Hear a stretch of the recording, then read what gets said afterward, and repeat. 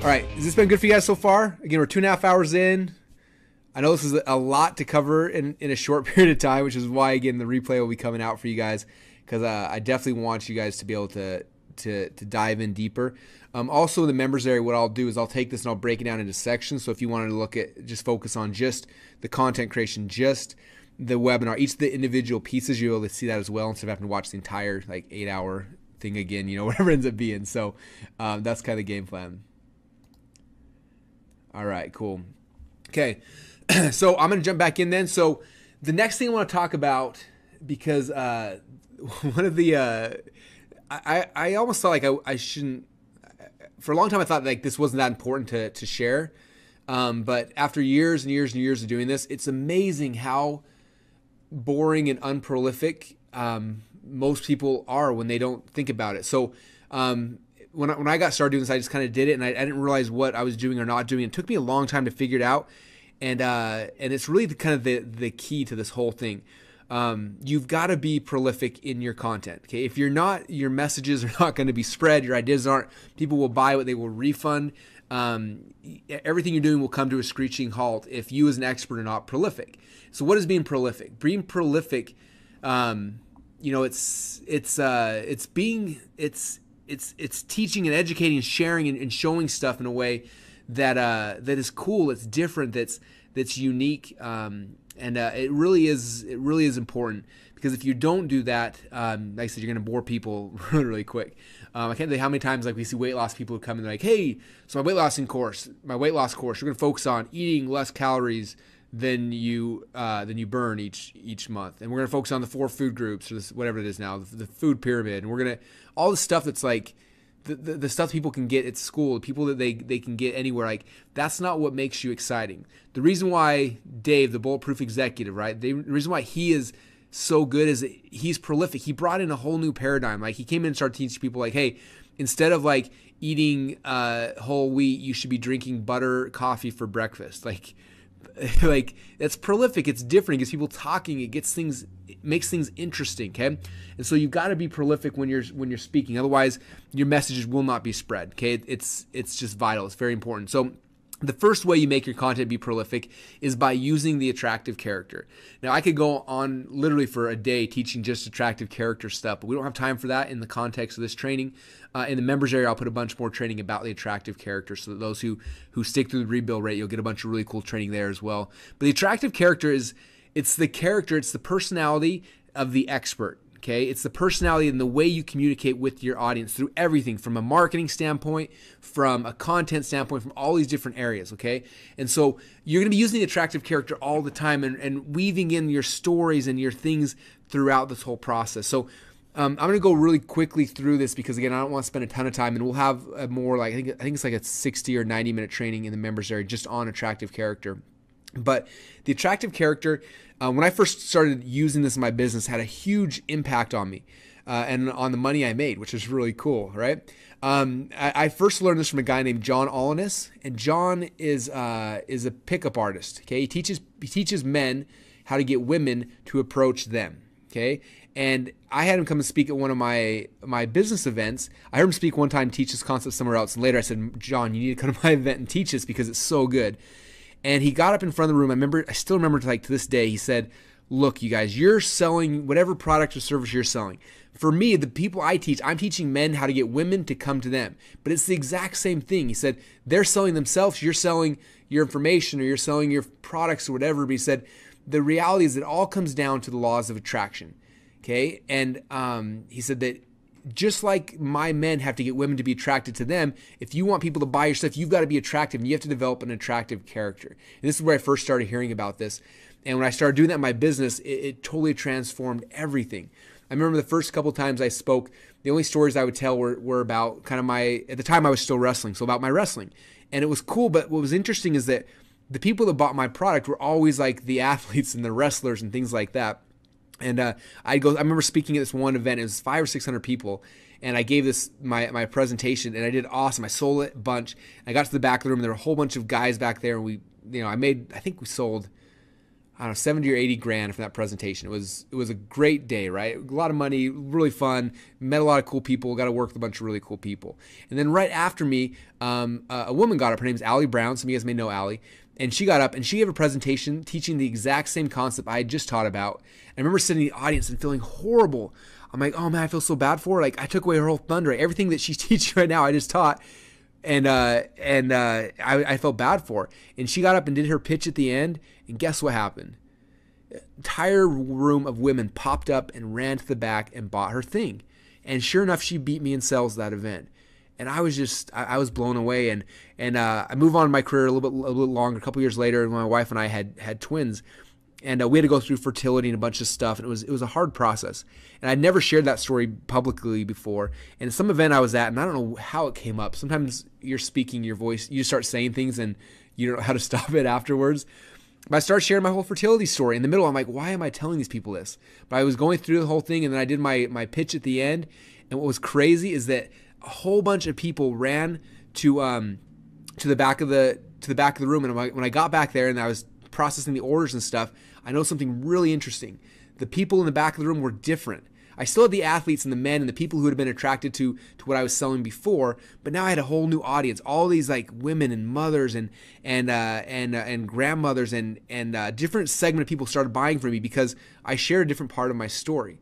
And so I found that throughout the last 10 years of doing this, the different elements I share and different things will always attract different kind of people. And so this attractive character piece that I'm showing you guys right now is is really fundamental and really key to everything you're doing. You have to learn how to how to do this because as the expert, if you want people to follow you, they're not going to follow the boring the boring character, right? They're going to follow the attractive character.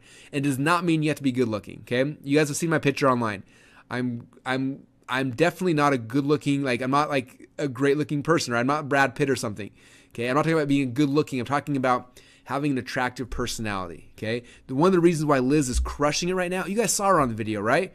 She's just a, so such a fun personality, and she's bubbly, and she shares story, and she's just she's perfect, right? And so that's what you guys need to be doing as well, is creating a character like that that people will fall in love with. Okay, so here's some of the, the core aspects of the attractive character. The first thing over here on the left hand side are the elements of the attractive character. Okay, every attractive character has a backstory. Okay, sometimes you might call it an origin story. Okay, when you think about origin story, you probably think of um, of like superheroes, right? Every good superhero has a backstory that tells that how they came from wherever they're at to where they are today. Okay, if you don't have a backstory and if you don't share it with your audience, then guess what? You will be unrelatable to, you, to them. You look like this person who's completely perfect who figured this thing out. Okay, but if you have a backstory that says, look, I was where you are at right now, I learned some really, really cool stuff, and now check out where I am today. That's what sells. People see where you, if, if you can go to where they're at, and you can show that you were in the same spot they were at through your backstory, and then show them that you you you uh, blazed this trail and you found the answer. That is what people that what that's what gets people to relate to you. Okay, the reason why Bulletproof Executive, right, Dave does so good is because guess what? He used to be like 300 pounds overweight, and then without exercise, without doing anything, just by drinking his butter coffee, all of a sudden he lost all his weight and boom that is an attra- that's a backstory because people can relate to that. He's meeting them where they're already at. So backstory is key okay? An origin story. And you're going to be using this in your presentation you're going to be using it in a lot of different places.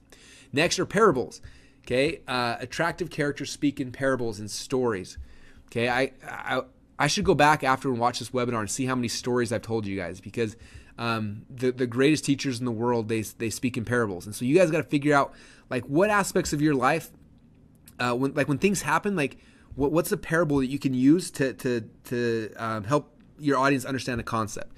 Like when I first started teaching people how to how to create information products, um, I, I wasn't really so much focusing on like them focusing on their expertise, but just creating like niche products, right?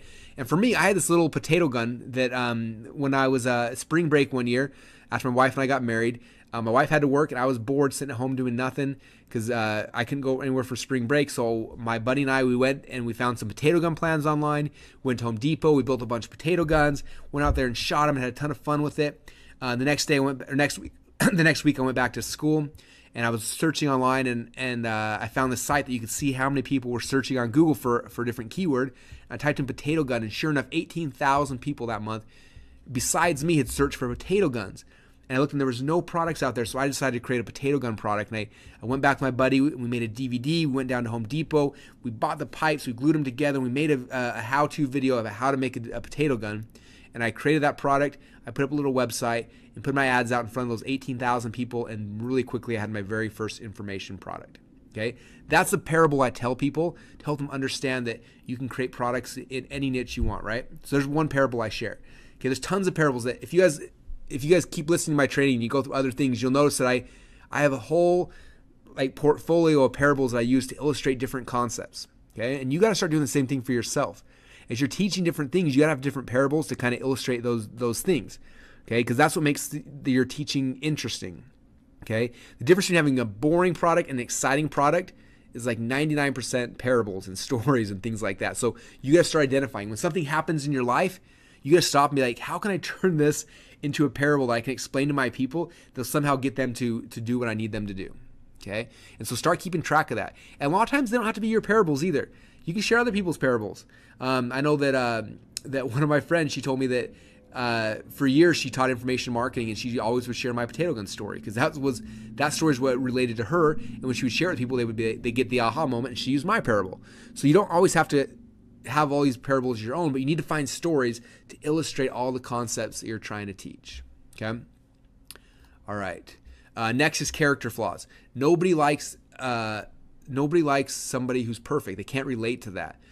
And so one of the hard things you guys are going to find is it's really hard and scary at first to share your character flaws, but you also find that it's necessary. When people see that you have flaws and, and things like that that's what that that's what makes you relatable that's what gets them interested in you okay and so character flaws is uh, is important and uh, and then number four is polarity and i'm talking about here again in a minute but if your content is just neutral neutrality is boring and does not inspire action okay polarity being different and being unique that's what gets people to to pay attention okay i always have people like well i don't want to offend anyone you know i don't i don't i don't want to like you know, some people aren't going to believe this or, or, agree with me. I, I want to be neutral and be, you know, I want to please everybody. And when you do that, you can't make money.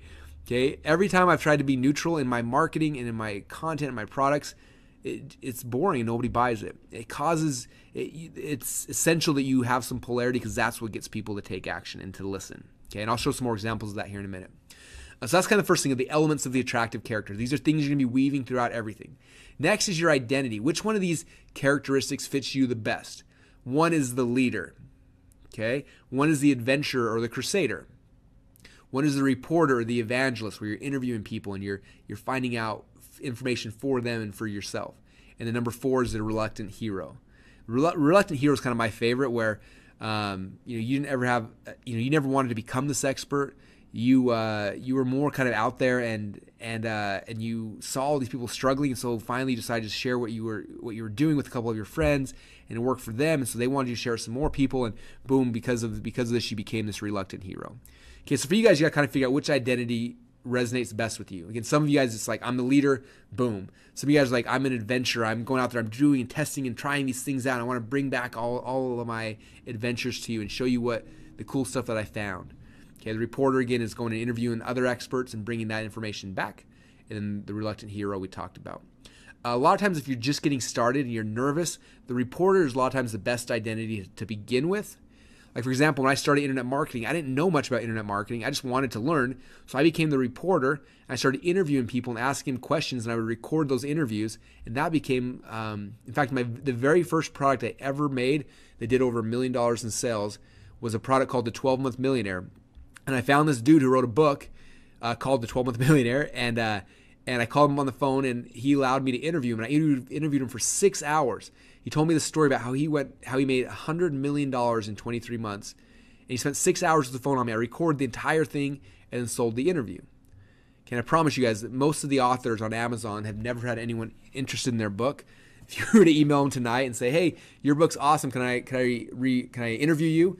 most of them allow you to interview them and, and you can create a ton of really good products and content and things that way. So there's kind of the reporter. All right. So again, you're going to pick one of these identities. And for me, my identity's kind of shifted throughout my, my career as an expert and yours probably will as well. A lot of times, again, it begins as a reporter. Eventually, you, you transition over to a reluctant hero, or maybe it's more the leader, whichever one makes the most sense for your personality.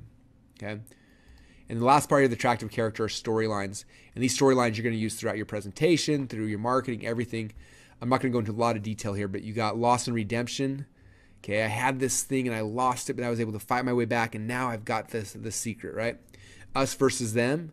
Okay, if you're an expert in something, what's what's the opposite of whatever it is you're teaching? Okay, uh, the us versus them is, is a key here. Before and after, a lot. I, was, I used to be fat, now I'm skinny. I used to be broke, now I'm rich. Okay, before and after stories, amazing discoveries. Check out what I found as an expert.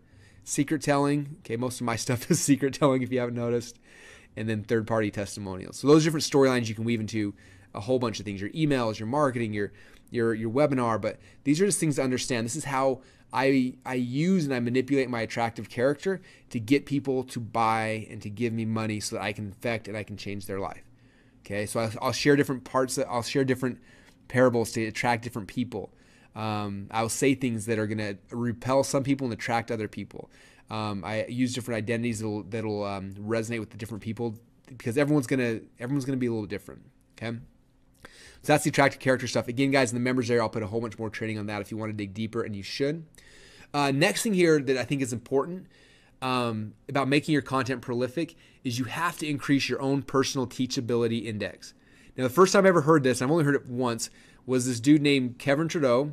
And uh, Kevin's in jail right now for doing a lot of shady things. So don't follow everything Kevin said. But he had this one product called uh, "Your Wish Is Your Your Own Command" or something like that and I went through it. And one thing that was really good that I, I, really that I got from that that was powerful was he talked about teachability index. He said if you look at most people, he said that when they um, when they uh, when they start um, when they when they're kids, right, your teachability index is high. Like I've got four kids right now. My wife's got number five on the way right now, and uh, and their kid, my kids are teachable. Right, I share anything, and they like sponges, they soak it up. Okay, most of us are very teachable through elementary school and then junior high and then high school and then someone's go to college and you you're learning all this stuff and you love it and then what happens the second you get your diploma for almost everyone i know in the in this world they get their diploma they have a little hat on their head and boom their teachability disappears overnight because they're educated because they have a degree they know everything and they're they're not no longer teachable okay this is where I struggle the most when I try to help people. Um, like right now, it's it's funny like with this whole life hacking thing. Like I'm doing some crazy stuff that's having huge dramatic impacts on my weight and on my energy and on my physiology and all these things. And as I share them with people, everyone just like shuts down because nope, I don't believe it. Nope, that's against everything I've ever heard in the past. Nope, and they won't listen. And so because of that, they're not they're not getting all this amazing stuff that could change their life. Okay, now what you're gonna the problem you're gonna have as, as an expert is you've got this core set of things in your mind right now that, that are your belief patterns. Okay, and the problem with that, those things are good. That's what's going to lead your content and lead you moving forward. But you have to become teachable because um, if you don't become teachable, then uh, you're going to miss out on so many cool things. And so, what I'd recommend doing is, and this ties into your Dream 100, this ties into your podcast, and you're interviewing people, is you need to start making it a point right now that if you're going to be an expert in this industry, you've got to open your mind and, and be open to new ideas and new thoughts that are completely against what you what you may even think are possible right now. Okay.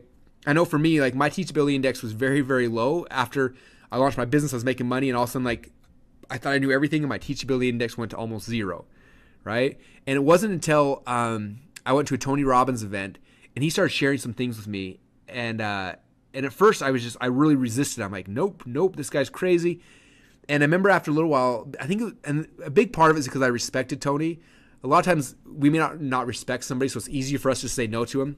But because I respected him so much, I was like, you know what?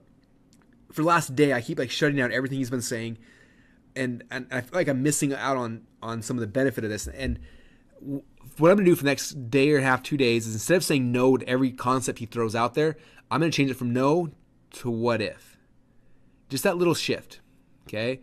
Because no, as soon as you say no, everything shuts down. If I say what if, then it opens up this cool exploration Right? So what if that was possible? What if that actually did work? What if, what if, what if? And he started sharing things. I'd say, what if? And some things after I would run through and I test them in my head and I would try things out, I, I would I would say I don't like that or I, I don't believe in that part of it. But other things opened up whole worlds of opportunities to me, whole new things that I never even dreamt and thought about were possible. Really interesting. So for you guys, is in your area of expertise, um, it's very, very important to become teachable and to go and try to get knowledge from as many places as you can. Read books, podcasts, interview people, all these things. And instead of saying no when they bring new ideas to the table, say what if and see what happens. And I promise you, you do that, your mind will expand, your content will become more prolific, you'll be able to help more people, you'll be able to help them, help them in unique ways that, that weren't even possible to you a little while ago, let alone to, to the rest of the world. Okay? So it's very important, you guys, to, to become very, very, very teachable. All right. Um, um, and then after hearing Kevin Trudeau's Teachability Index, I invented my Prolific Index. So this is all mine. this is how my Prolific Index works, okay? Here is the Prolific Index. Now, we all know the crazy people, right? There's dudes that are crazy, right? Over here on both sides of the spectrum. And in the middle, there's like mainstream. This is stuff you learn in school, okay? Now, I want to tell you, the mainstream stuff that you learn in school, there's no money in it, okay? If I can learn accounting at school, I'm not to be able to make money with it online Okay, it's not going to happen. Now, if you go to the edges, over here is crazy. Okay, now crazy is is is good because it's it's it's it's um, polarity, all those kind of things. But on the edge of crazy, nobody's gonna give you any money. Do you want to know why? Because they think you're crazy. Okay, so it's very important to understand. Mainstream, no one's giving you money. Crazy, no one's giving you money. But there's this little spot right in between, between mainstream and crazy. That's where you start making money that's where people will pay you for your ideas and pay you for your expertise on both directions here. Okay. So for you, you got to understand that up to this point in your life, for a lot of you guys, you've gone through mainstream tr- traditional learning, right? You you uh, you went to school, you got a degree, you got education, you've been studying this stuff, you've been using it, and now you're an expert. But the problem is you're expert in, very mainstream stuff, and there's no money in the mainstream. Okay, so it's time for you to open up your teachability index, start looking for new ideas, new thoughts, and new things, and start venturing towards the crazy side now, don't go to crazy. If you go all the way to crazy, you you you you miss the whole point. But that's where you start getting ideas that are different, that are prolific, that'll get people to to to think and get people to respond.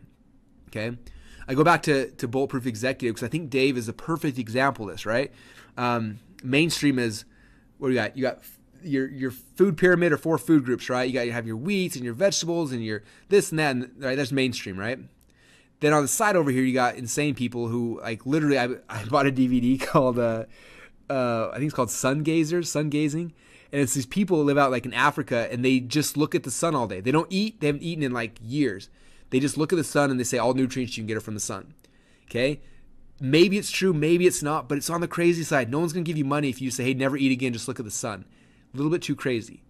But in the middle there, where all of a sudden Dave finds out, "Hey, all this this wheat stuff is really really bad for you. You watch, you read Wheat Belly, or you um, look at the Atkins diet, or you look at some things that's really really bad. Okay, and you look at fats are actually really really good for you. Okay, and all these things are happening, and all of a sudden you move away from the mainstream, from here's the food pyramid, to venturing towards crazy. But you stop in the middle where it's prolific, where people are like, wow, this is a new idea. It's something I haven't even considered before. Let me test it, and they test it, they get a result, and they want to dig deeper into that, and that's where the money's at, you guys.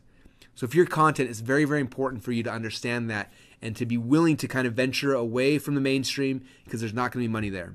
Okay. One of our students right now, we've been struggling is she's uh she's in accounting and and uh, she's trying to sell accounting stuff. I'm like, that's not that that's mainstream. No one's gonna gonna gonna do that. Like, and then you got like you know, so here's the accounting over here. Here's like crazy tax stuff that gets you thrown in jail on the crazy side. But there's a sweet spot in the middle there where it's tax savings and it's it's how to lower your, you know, what you pay the government, like how to do uh, trust funds and uh, whatever, all that stuff right there. That's like the prolific spot. That's where people will pay you money because it's it's not what they learn in school and it's not crazy.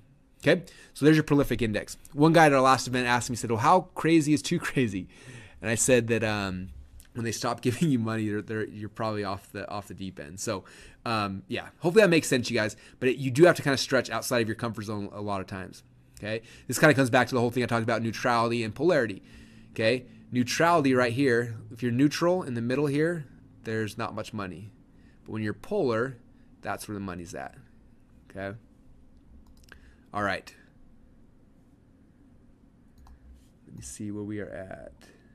All right, cool. um, okay, so next thing we'll talk about is your funnel. Now, um, I kind of struggled when I was putting this presentation together because I did a presentation a while ago. It, was another long one. It was another master class like this. I think it ended up being at four hours long. And I shared all of the different funnels that we use in our business. And there are like nine different types of funnels. I talked about front end funnels, back end funnels, middle funnel, all sorts of stuff.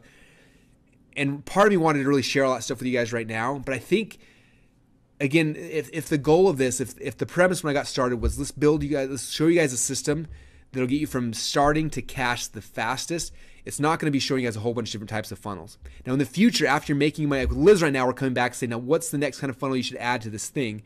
Um, but for right now, to, to serve you guys the most, I'm not going to share with you guys everything because I don't think that's what you need. I think you need what's going to be the fastest path to cash. Let's focus on that and then we can move on, right?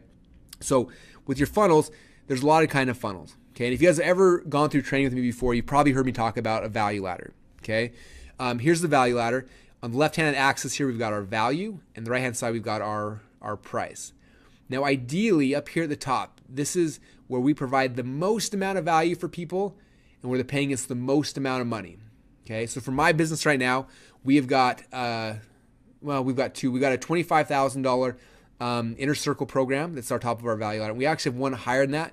That's uh, it's a million dollar program. Where People pay hundred thousand dollars down, then ten percent of their income up to a million dollars. Um, so we have a million dollar program. But for for argument for this, I'm going to talk about my twenty five thousand dollar program. Okay, so here it is right here. Now, my question for you guys is if if you never met me before, never heard from me, and I walk up to you off the street and I'm like, hey, my name is Russell. I love the internet. I love making money on it. I'm pretty good at it. If you give me $25,000, I'll help you turn your idea into a, into a sustainable business. How many of you guys would say yes? Okay, a couple. Stanzik would say yes because that's what he did. Now look at him, super successful.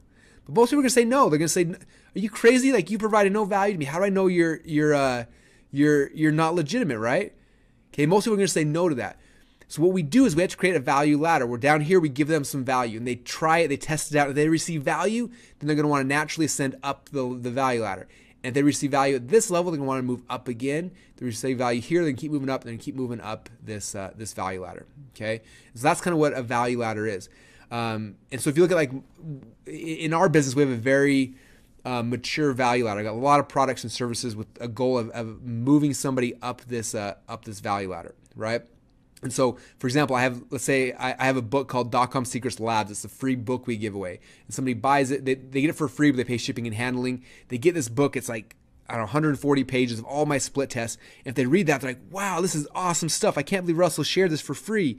What else has he got? And then a few days later, they get a call from someone on my team and they're like, hey, did you like this? How'd you like to join Russell's uh, Ignite program? It's $10,000 and you get this, this, and this. And because they receive value, now for them to say yes to the next thing is not that not that difficult. Okay? And it's easy now to send them up if they're receiving value at every step along the way. Okay? So that's the value ladder. Now, um, I'm gonna I'm gonna skip this because I don't think it's important for what we're doing right now. So here, here's our here's our value ladder, right? Um, now in this value ladder, there's different types of funnels. There's front end funnels, middle value ladder funnels, high you know back end back end funnels. So different funnels we use. And so again, that whole that other presentation I gave, which some of you guys may have seen it already, goes through all these, right? What's a free plus shipping funnel? What's a self-liquidating offer funnel? What's a perfect webinar funnel? What's an invisible funnel? What's a product launch funnel? What's a high ticket funnel? What's a black box funnel? Continuity funnel, micro continuity funnel. Okay, we cover all of those. And again, what I what I want to do for the sake of this training, though, is I want to focus on just one funnel, the funnel that's going to get you to make cash the fastest, uh, the funnel that ascends somebody up the value ladder the fastest, and that's the perfect webinar. Okay, the perfect webinar is nice because um, somebody registers for a free webinar, it doesn't cost them any money. They come on this webinar presentation, you educate them, you train them, you give them a bunch of really good stuff, and after that process is over, then they uh, you offer them a product and you're offering a $25,000 product, but usually you're offering something something from $300 to $1,000. And in a 60 to 90 minute presentation, you can give enough value that somebody will give you, you know, 300 to $1,000. And so that's going to be focusing on right now. Okay. Now, long term, my goal with you guys is to get you guys into my Ignite program or get you guys into my inner circle. And when we do that, then my goal is help you build out front ends and back ends and continuities, all these other things. But for right now, I just want you guys making money as quick as possible. Okay. And so that's why we're focusing uh, for this whole training on the perfect webinar. All right.